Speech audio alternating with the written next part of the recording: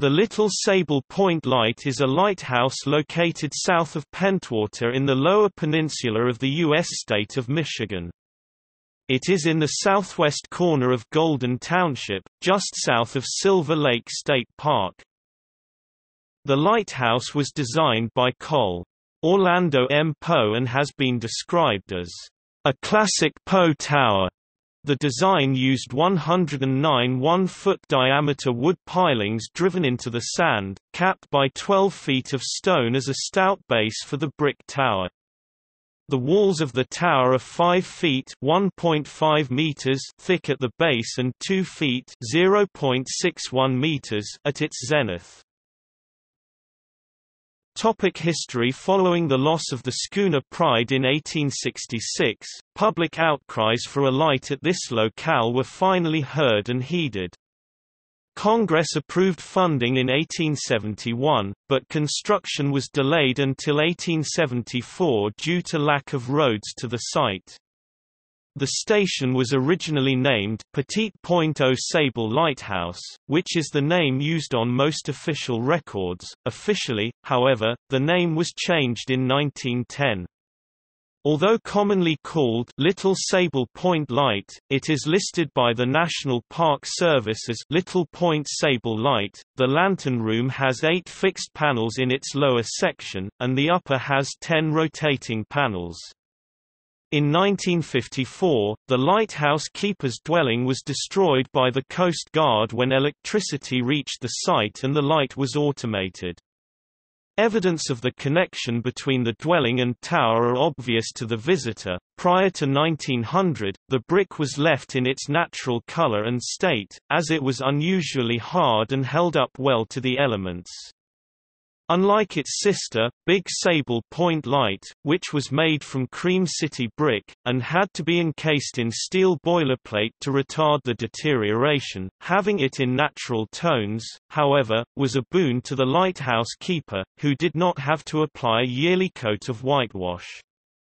In 1900 the light was painted white for the first time, to assuage the complaints of mariners who said the brick was difficult to see. It remained that color until 1975, when it was sand-blasted, and returned to its natural color.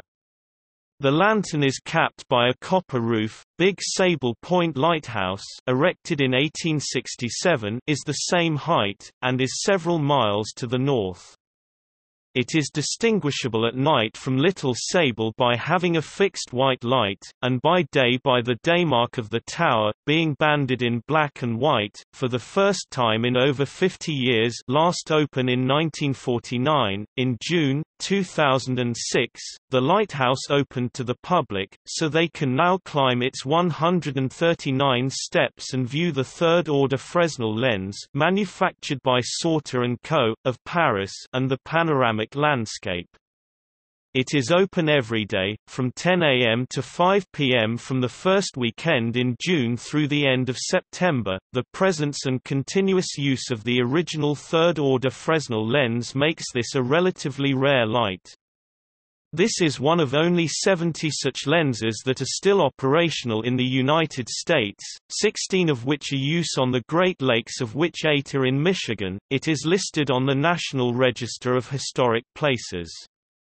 It is not listed on the state register, but is in a protected area, i.e., a state park.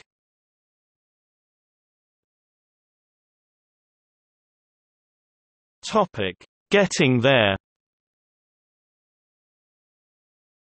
Little Sable Point is in Silver Lake State Park, close to Mears, Michigan. The lighthouse parking lot is off of N Lighthouse Doctor to take Silver Lake Road to its south end, where one will find N Lighthouse Doctor to follow it a little over a mile. It has an excellent swimming beach and Lake Michigan produces some great sunsets.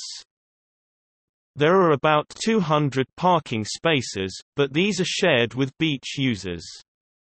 As it is part of a Michigan state park, an entrance fee is charged for automobiles. A $5 tower climbing fee helps preserve the lighthouse.